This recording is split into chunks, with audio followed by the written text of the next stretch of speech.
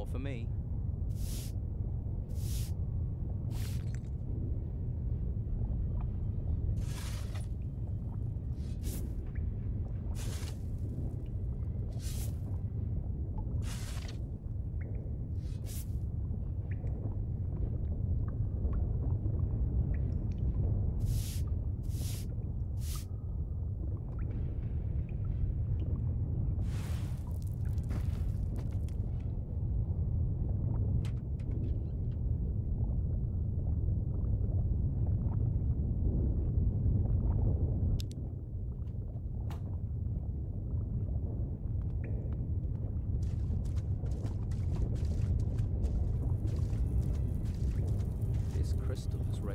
Some sort of strange force.